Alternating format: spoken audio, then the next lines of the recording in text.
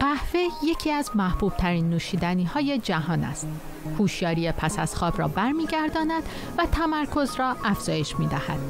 اما زمان نوشیدن قهوه می تواند در سوخت و ساز بدن موثر باشد.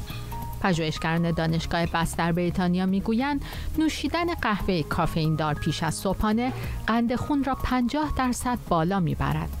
این خطر برای مبتلایان به دیابت بیش از افراد دیگر است. علت افزایش قند خون مسدود شدن فعالیت پروتئینی است به نام آدنوزین. پروتئین آدنوزین میزان تولید انسولین در بدن و جذب آن توسط سلول ها را تنظیم می کند. کافئین موجود در قهوه باعث از کار افتادن آدنوزین و عدم جذب آن توسط سلول ها می شود. در نتیجه انسولین تولید شده در خون باقی می ماند. اما قهوه پیش از صبحانه از یک راه دیگر هم انسولین را افزایش می دهد. از راه تولید دو هورمون استرس یا تنش عصبی یعنی هورمون های کورتیزول و اپینفرین. کار این دو هورمون افزایش قند خون برای مقابله با استرس یا تنش عصبی است.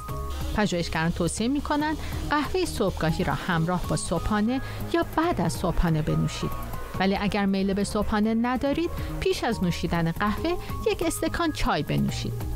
رقیق کردن کافئین موجود در قهوه صبحگاهی اثر کمتری بر تولید انسولین و بروز دیابت دارد.